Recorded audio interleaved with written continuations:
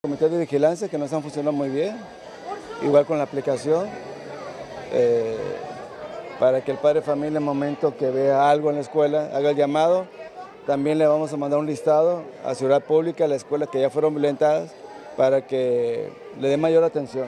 Antes de vacaciones, el comité eh, que se conforma con, de vigilancia con los padres de familia, maestros y vecinos, para que den rondín, eh, informen al director cualquier cosa que se presente, cualquier ruido de persona extraña que venga dentro del plantel, pues que le avisen al director.